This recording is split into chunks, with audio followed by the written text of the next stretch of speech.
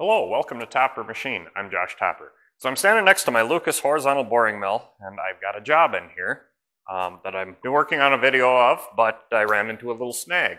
My current line boring bar is a little small, a little short.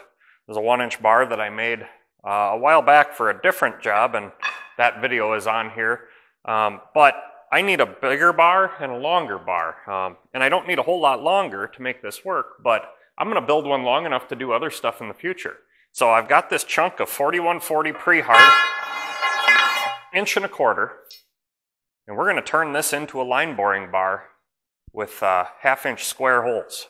So let's get it over to the lathe, get the ends trued up, and get started.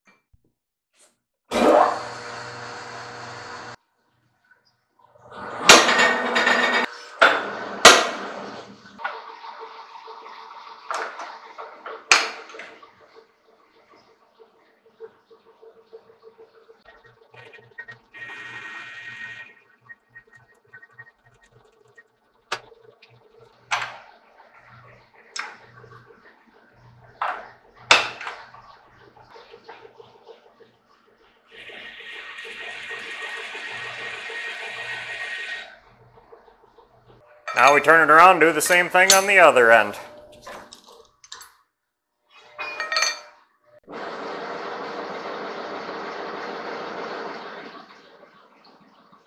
So the next step here is to get our bar up on the Bridgeport and drill 17 30 seconds holes every 4 inches. And that is the pilot hole for our half inch square broach. Uh, this is a Dumont push broach and we will be pushing it through with the Dake 4M Arbor Press. And just be very careful so you don't break these things because they are not cheap. And they do, if you get them off a little bit, they do snap. So let's get drilling.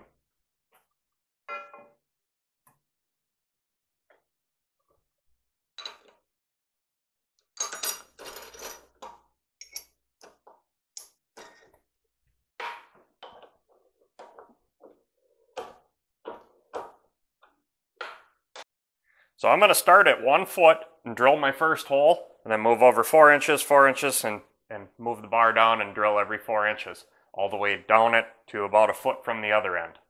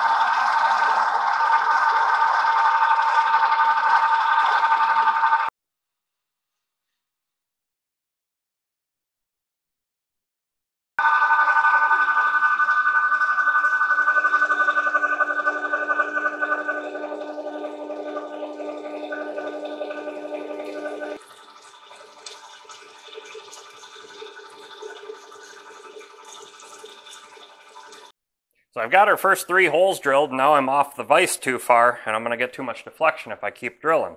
So what I'm going to do is I'm going to move the drill back, um, unclamp the bar, move that down, run the drill into the bar to get everything true so it's not twisted offset, and then clamp it back down, and then re-zero and keep on going.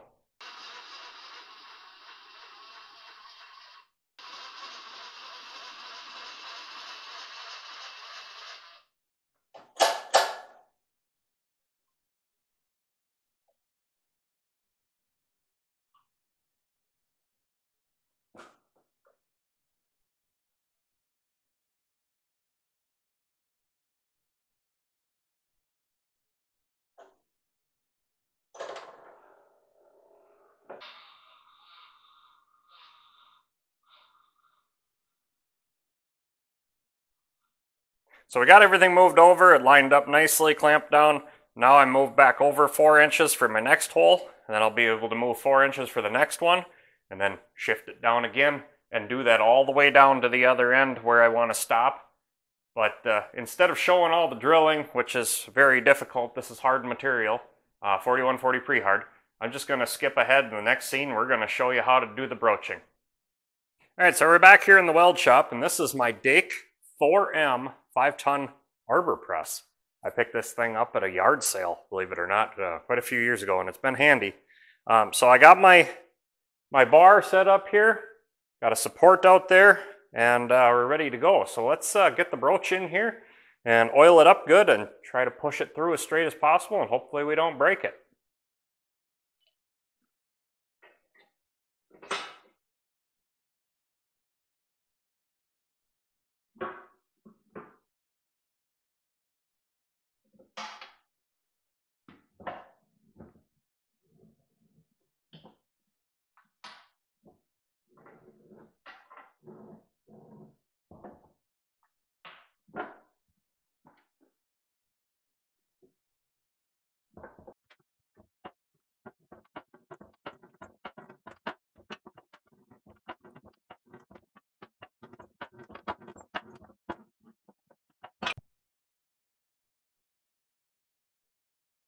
All right, so we got our first hole broached. Um, came out nice.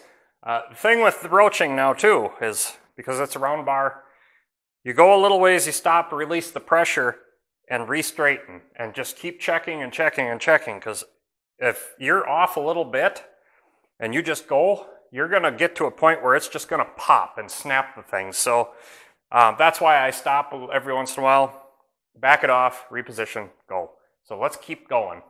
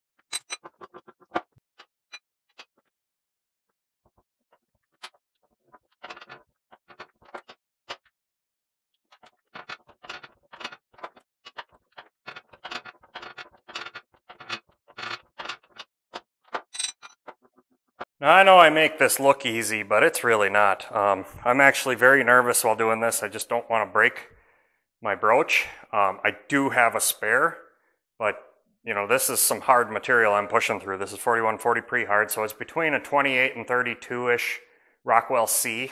So it's pretty, pretty tough stuff. But I got one, two, three, four, five, six holes of my, I think I drilled 14, 14 of them, yeah. So I got eight more to go. So I'm just going to keep plugging away at this, and uh, hopefully I don't break one.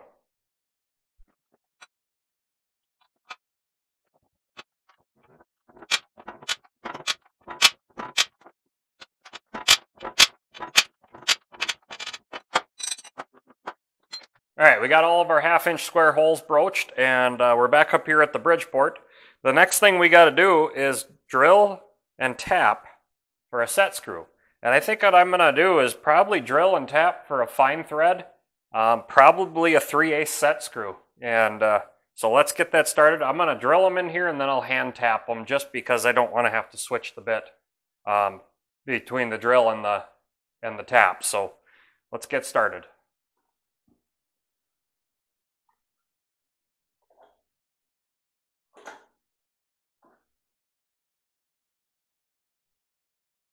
All right, so I better explain what I just did there. I put a tool bit in one of my broached holes and put the level on it, and that'll tell me when I'm perfect as far as my, my alignment of my square holes this way, and then I can drill them. So once I get to this one, I'm going to have to move my, my tool bit and recheck the level, but then I can just utilize this tool bit, whichever hole I put it in, moving forward.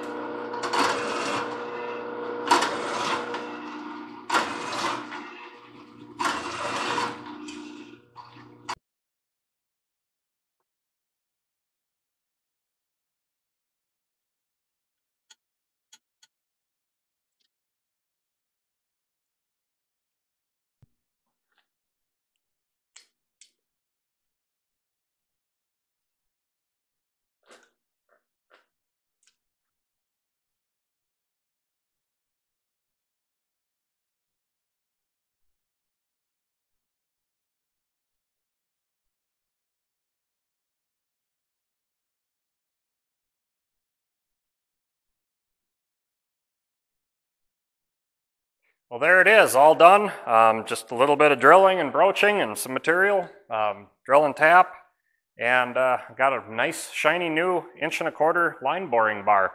So now I can get this job going. This is the front end of a case tractor. We're gonna be boring out these, uh, where this, this little bushing goes. We're gonna bore it oversized, make bushings to, that will fit in there to accept these. So since the bore is so small, I won't be welding it up. It just doesn't, doesn't pay. It's so small, it's so hard to do. So we'll bore, bush, and then put the bushings in it. And that job will be done, and the customer can get his tractor back together. So with that, just get out in your shop and get it done right the first time.